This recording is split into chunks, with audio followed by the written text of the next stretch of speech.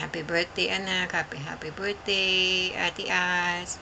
Uh, wish ko sa'yo uh, good health, um, happy long life, more blessings, more birthday to come, at saka mag-iingat ka sana palagi anak.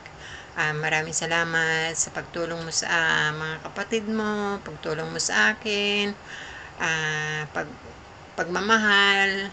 Kasi ngayon yung pagmamahal mo, tunay na tunay na, hindi gaya noon na iniiyakan kita anak. Um, maraming salamat sa tunay na pagmamahal. Uh, maraming salamat din sa unexpected Christmas gift mo sa akin na may palaman na nga, may gift na nga, may palaman pa. Mahal na mahal ka namin anak ng mga kapatid mo at saka ako, lalo na sa akin. Kaya mag-iingat ka palagi anak. Love you, love you.